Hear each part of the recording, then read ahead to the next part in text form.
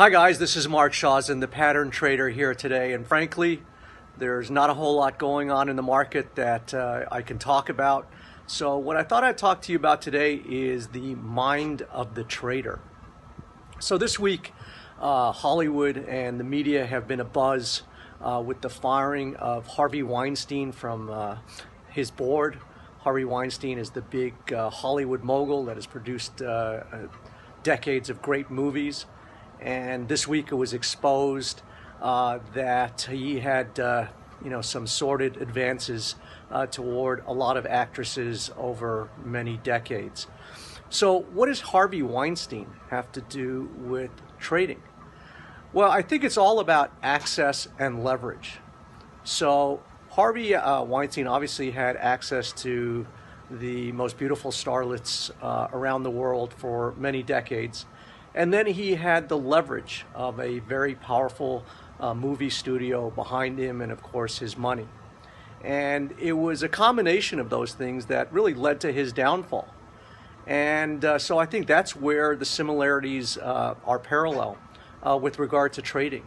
Uh, as far as I'm concerned, in today's world, with the access to the internet and online trading platforms, we have actually far too much access uh, to information we are way too close to the market action.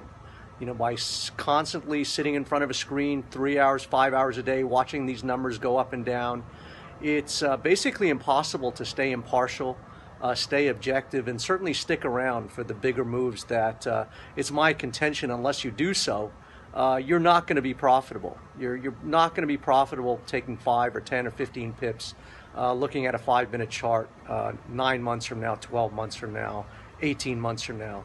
Uh, that's not my uh, opinion. It's backed up by industry statistics that are appalling.